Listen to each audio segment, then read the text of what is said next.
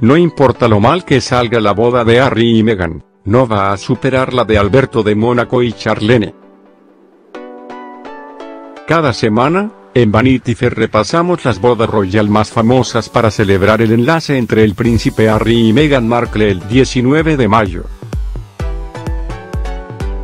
Hace 65 años, la idea de un miembro de la familia real británica contrayendo matrimonio con una persona divorciada era impensable, aunque solo fuese por el vínculo entre la realeza y la Iglesia de Inglaterra.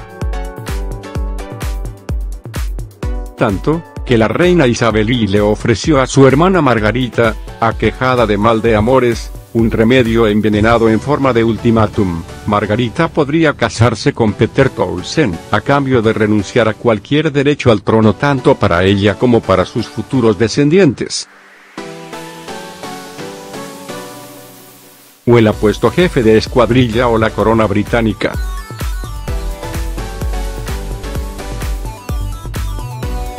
Margarita optó por lo segundo, ahorrándole a Inglaterra un escándalo similar al que su tío Eduardo Ville había protagonizado 17 años atrás, al abdicar del trono para casarse con una estadounidense.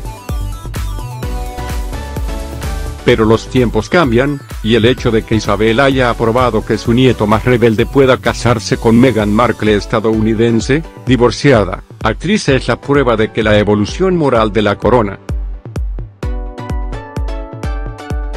Lo más curioso es que hoy, tanto este enlace como la familia real británica, la misma que hace años estaba desbordada con tanta polémica matrimonial, son la viva imagen de la normalidad, en lo que a realezas europeas se refiere.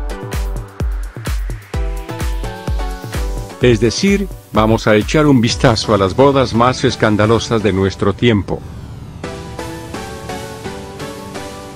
Tan solo tres meses después de que Guillermo y Kate Middleton se casasen en una boda de cuento, repleta de homenajes a la de la ausente Diana, en Europa se celebraba otra boda que, al menos sobre el papel, parecía más un gol de marketing que una historia de amor. El príncipe Alberto de Mónaco, el hijo de Grace Kelly y Rainiero, iba a contraer matrimonio con Charlene Whitstock, una bellísima nadadora olímpica sudafricana, a medio camino entre Naomi Watts y Charlize Theron. Que reflejaban los medios no era una boda de ensueño, sino una pesadilla para Whitstock. Días antes de la boda, leíamos que la futura novia había intentado huir de Mónaco al enterarse de que Alberto, que ya era padre de dos hijos ilegítimos, había tenido otro hijo con una amante durante el noviazgo de cinco años. El semanal francés L'Express aseguraba que Whitstock se había intentado escapar del Principado no una, sino tres veces. Primer, supuesto, intento, Whitstock, 20 años más joven que su pareja, intentó refugiarse en la Embajada de Sudáfrica en mayo, durante una visita a Francia para preparar el vestido de novia. El intento número 2 tuvo lugar ese mismo mes, durante el Gran Premio de Mónaco. Y a la tercera casi fue la vencida, cuando reservó un vuelo solo de ida a Sudáfrica y casi consiguió llegar al cercano aeropuerto de Niza, en Francia. Sin embargo, la pillaron a tiempo y le quitaron su pasaporte para que, según contaba un veterano detective monegasco, el séquito del príncipe pudiese persuadirla para quedarse. Aunque Charlene finalmente aceptó someterse a un festejo que se prolongó durante tres días y que costó más de 45 millones de euros, tanto los periodistas como los invitados comentaron la aparente tristeza nupcial que arrastraba la nueva princesa. Charlene estuvo llorando durante la ceremonia, según contaba ABC, que también afirmaba que la novia se apartó cuando el novio intentó besarla. En The Guardian indicaban que Charlene salió de la capilla real donde depositó su ramo con el labio superior tembloroso y una lágrima recorriéndole la mejilla. Mientras se limpiaba las lágrimas con un pañuelo, el príncipe Alberto le suplicaba entre susurros, no llores, no llores.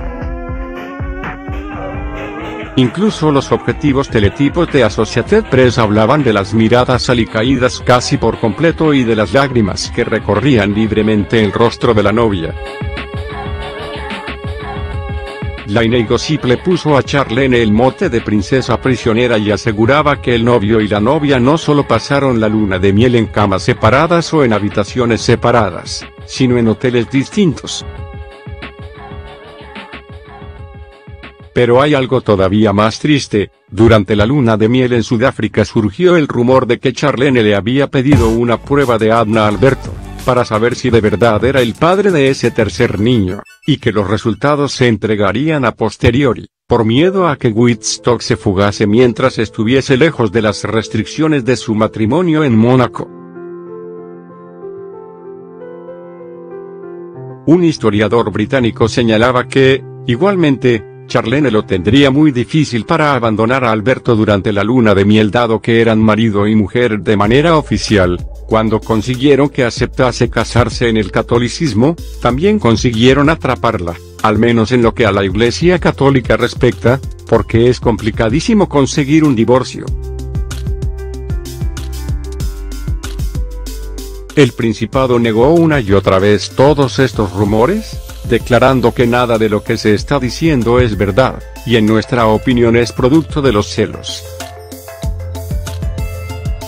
Alberto por su parte, negó directamente los rumores y amenazó con tomar acciones legales.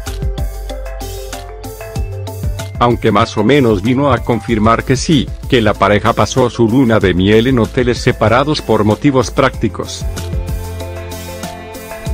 A día de hoy, Alberto y Charlene siguen casados y tienen dos hijos.